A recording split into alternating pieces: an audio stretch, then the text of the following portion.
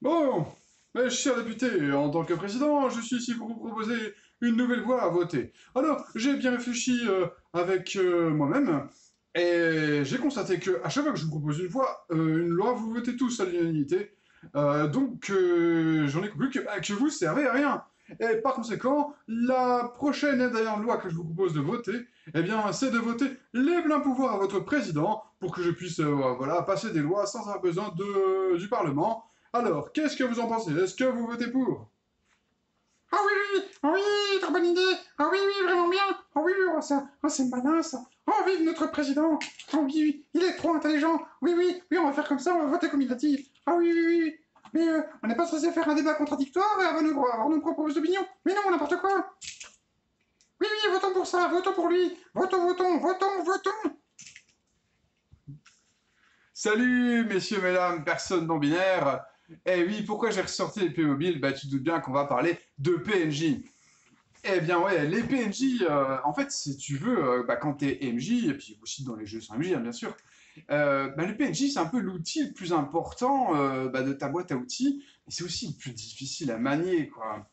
Un bon, un bon PNJ, euh, eh bien, il faudrait qu'il soit mémorable, mais sans pour autant voler la vedette des PJ.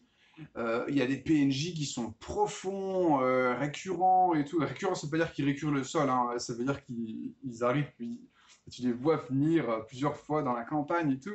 Mais il y a aussi des PNJ minuscules, mais dont la présence fugace apporte un supplément de vie à la partie. Ok, et bien sans plus tarder, cette vidéo t'est offerte par un super sponsor, vraiment tout à fait, tout à fait approprié pour le sujet, puisque euh, il s'agit des armures en scénarium. Voilà, les armures en scénarium, ce sont des armures pour protéger tes PNJ fétiches, euh, pour qu'ils ne se fassent pas euh, zigouiller en fait par les PJ dès la première rencontre.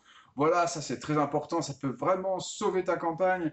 Donc voilà, les armures en scénarium, voilà, la petite armure de base en mithril narrativiste et tout, et après on monte jusqu'à voilà de l'armure en adam- adamantium euh, narratologique, euh, voilà, qui fait que ton PNJ avec ses, ses- son- la- sa, sa plot armor, comme disent les Anglais, euh, eh bien, il sera définitivement euh, immunisé à toute attaque de PJ et pourra survivre contre vents et marées et contre toute probabilité, eh bien, toute ta campagne. Euh, voilà, c'est super, c'est vraiment si tu as un PNJ comme ça, Marissou, à faire survivre jusqu'à la fin, eh bien, pense-y, c'est pas cher en plus, évidemment, si tu tapes Outsider, t'as un bon de réduction. Ok, euh, sans plus tarder, rentrons dans le vif du sujet.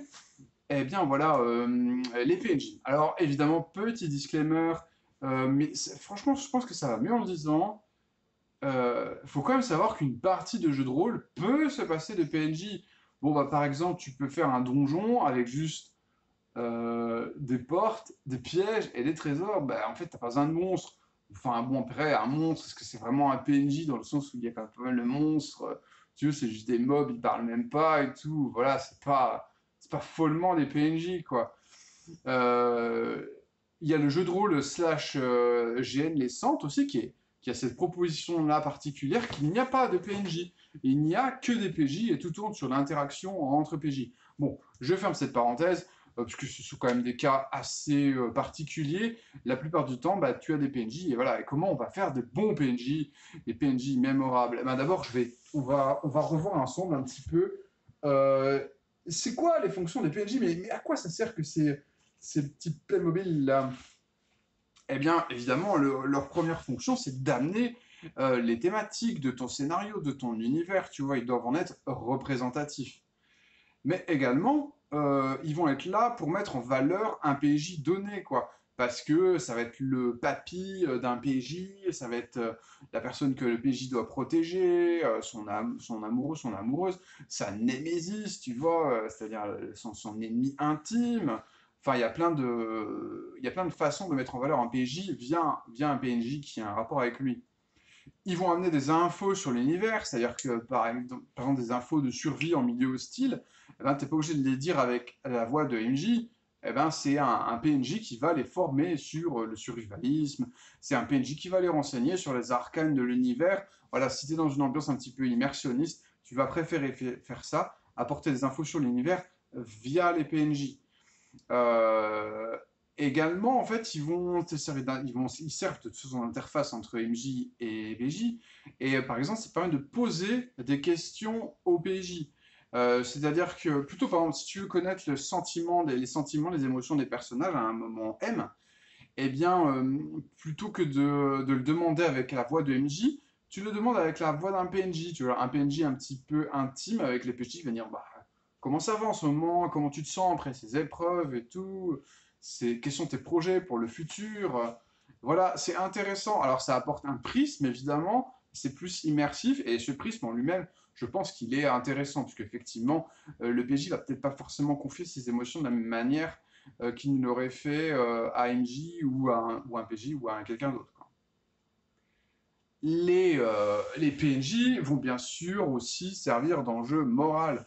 Euh, eh ben, que ce soit la veuve ou l'orphelin que, qu'on veut défendre, un, PNJ qui va être un, miroir euh, moral euh, déformant à l'inverse et tout. euh, voilà, des, PNJ, enfin, comment, de que ce soit des PNJ à sauver ou à condamner, ils sont im- importants en tant qu'enjeu moral, les PNJ.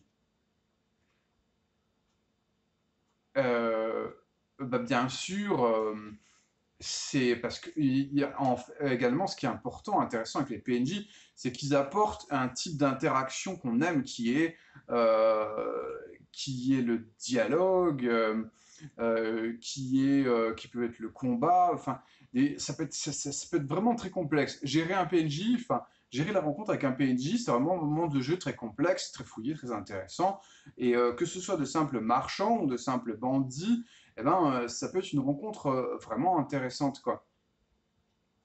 Euh, le rôle des PNJ, également, c'est avoir une gueule d'atmosphère. Ça rejoint le fait d'amener des thématiques et tout, mais, mais voilà, juste d'écrire les trognes des gens que tu peux rencontrer dans le... Ouais, j'ai mon imprimante fantôme qui imprime un truc, ça, je vais rien demander. D'écrire des trognes, euh, voilà, dans, rencontrer dans une auberge, croiser dans la ville et tout. Ça, ça, ça pose tout de suite une atmosphère, quoi. Et euh, également, ils vont apporter. alors là, c'est un peu plus euh, spécifique, mais tu peux te servir des PNJ pour apporter une touche de feel good. Euh, tu peux faire l'inverse, mais là, je suis concentré sur le feel good. Bah, par exemple, mais alors si tu veux faire ça, euh, il faut pas avoir des PNJ qui sont idiots, qui font des, actions stupides qui mettent tout le monde en danger. Pas non plus des PNJ méchants, et pas non plus des PNJ victimes, tu sais, qui rappellent que le monde est horrible et tout. euh, et à des PNJ qui souffrent, qui se font. Non, non, non. Ou plutôt des PNJ euh, que tu peux soutenir, ou qui sont soutenants, mais vraiment dans une, dans ambiance positive. Bon, voilà, c'est, enfin, grosso modo, évidemment, tu peux faire un inverse. Donc, c'est les PNJ, par l'attitude des PNJ, par leurs histoires, tu vas amener une ambiance, tu vas vraiment donner une direction artistique au niveau de l'ambiance. Ok, donc ça, c'était un peu toutes les fonctions des PNJ. Je t'ai fait un gros, gros paquet. Euh, maintenant, on va s'intéresser à un type particulier de PNJ, c'est ce que je vais appeler les PNJ profonds. C'est-à-dire, bah voilà, des PNJ qui ont plutôt une construction complexe, euh, qu'éventuellement on va. Alors, c'est pas dit qu'on va les jouer longtemps, attention, hein. Ça peut être intéressant d'avoir un PNJ qui est profond, mais qu'en fait on va pas croiser longtemps.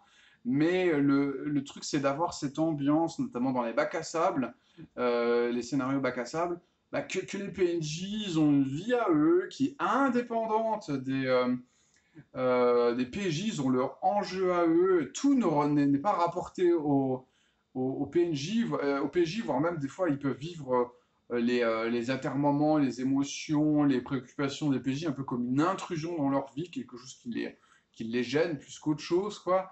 Euh, voilà, Euh, mais bon, de même qu'un PNJ profond peut être intéressant dans le cadre d'une campagne, un PNJ que tu vas, que tu vas faire évoluer au fur et à mesure qu'on va revoir tout ça, les deux sont bien, et je, c'est assez disruptif l'idée d'avoir un PNJ profond, mais que genre en fait il y aura peut-être que 5 minutes d'interaction avec lui. Euh, alors j'ai une méthode qui s'appelle la méthode écheveuil, euh, que je te mettrai en description, bah, pour créer ces PNJ profonds.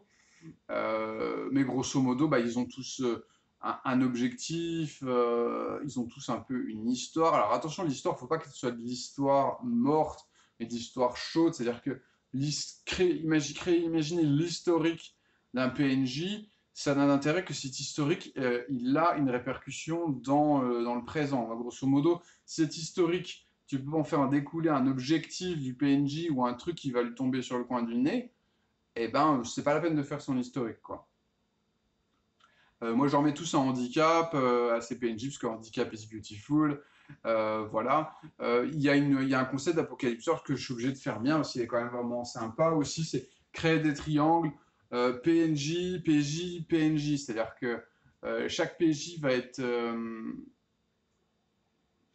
Non, c'est PJ, PNJ, PJ. Voilà, plutôt ça. C'est-à-dire que chaque, chaque PNJ pourrait être lié à deux PJ, mais d'une façon différente, ce qui fait qu'on a deux angles d'attaque pour appréhender le PNJ, tu vois. Il y a deux PJ qui le connaissent, mais pas de la même façon, tu vois. Donc ça, tout de suite, euh, ça apporte de la profondeur facilement au PNJ, puis ça, va forcément l'intriquer avec les PJ de façon organique. Euh, ensuite, euh, eh bien, on va improviser, improviser un PNJ. Euh, parce que voilà, euh, on n'a pas toujours le temps de les préparer, ni même, euh, ni même l'envie.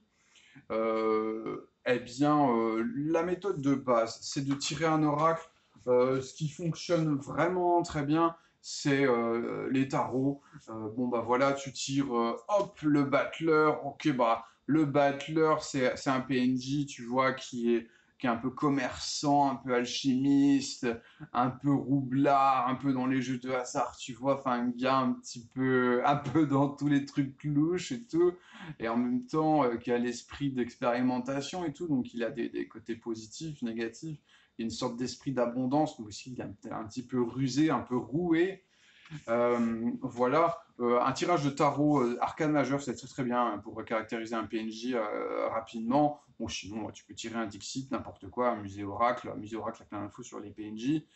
Euh, ça peut être un peu intéressant aussi si tu le crées juste en, un truc.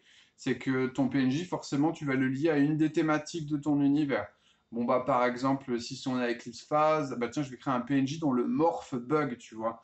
Et donc, il n'arrête pas de changer d'apparence, mais c'est pas, pas volontiers, ou son apparence se dégrade sous. Ça, ça du coup, sous un tas de problèmes. Il essaie de réparer ça. Euh, tu peux aussi tout simplement aussi créer bah, les, euh, quelque chose euh, que chaque PNJ que tu vas créer, tu, tu l'imagines lié à un PNJ, soit directement, bah, ah, bah tiens, le PNJ, tu rencontres, il y a ton papy qui rentre de, qui rentre de la campagne, ou juste thématiquement, c'est-à-dire que par exemple, il y a une paladine dans le groupe, eh ben, je vais créer forcément un PNJ qui, si tu veux, lui, il a, besoin de faire appel à un redresseur de tort euh, parce que euh, ses enfants ont été capturés par des vilains, hein, par exemple.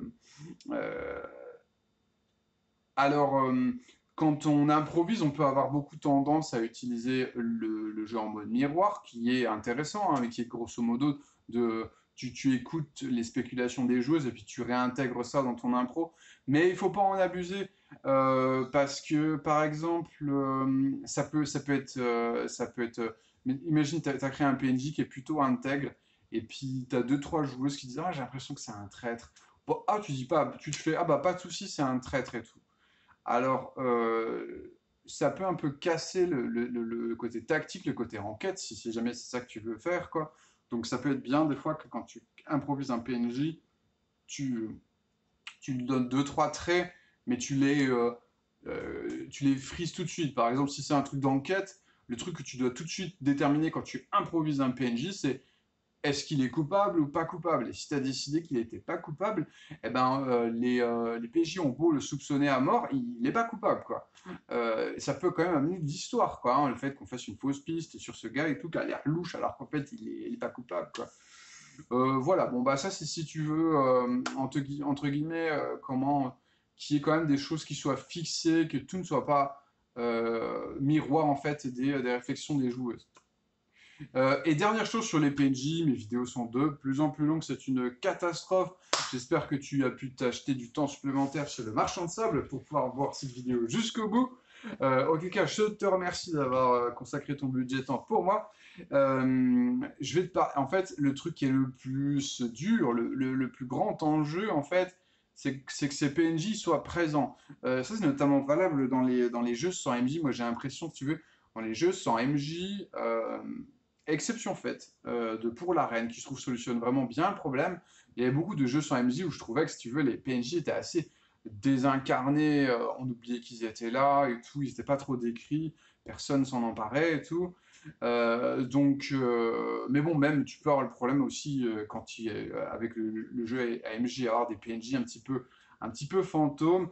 Donc là, il y a trois aspects sur lesquels tu dois insister pour les rendre bien présents. Pour le moment, c'est les faire parler au discours direct. Et ouais, ça, tout de suite, ça leur donne plus de plus d'existence, je trouve.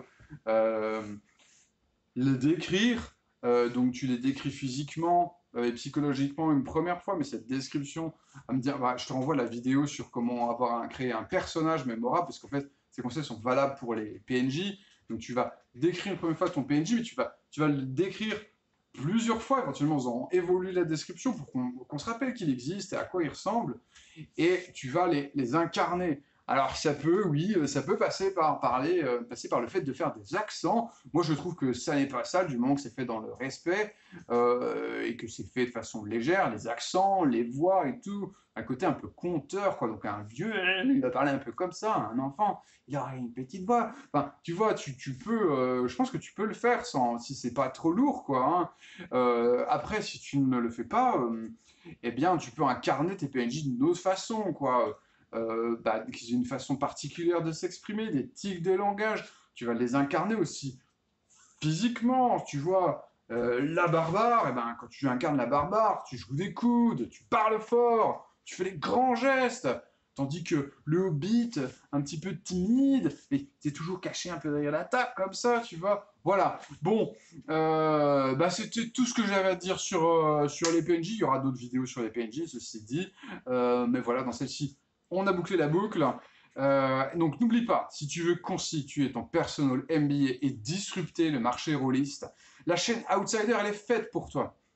Alors, rends-toi service, soutiens-moi, abonne-toi euh, bah, sur le Patreon de la chaîne Outsider, lis mon blog, abonne-toi à ma chaîne, et puis mets un commentaire. Salut, je te fais des gros bisous.